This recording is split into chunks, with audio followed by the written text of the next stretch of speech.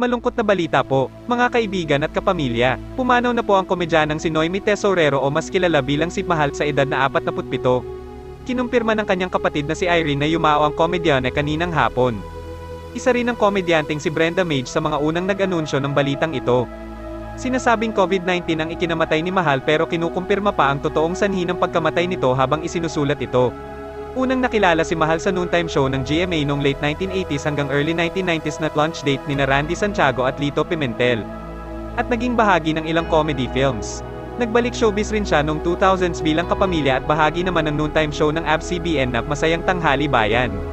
Kasama ulit si Randy, at nakilala ang kanilang tambalan ni Alan Padua o mas kilala bilang si Mura.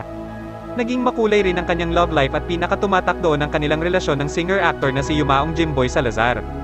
Pinasok na rin ni Mahal ang mundo ng video blogging na lalong nagpaaliw ng netizens. Mula po sa aming lahat, ang aming taos sa pusong pakikiramay sa pamilya na naiwan ni Mahal. Maraming salamat po sa saya at TWA na naihatid po ninyo sa amin. Hanggang sa muli.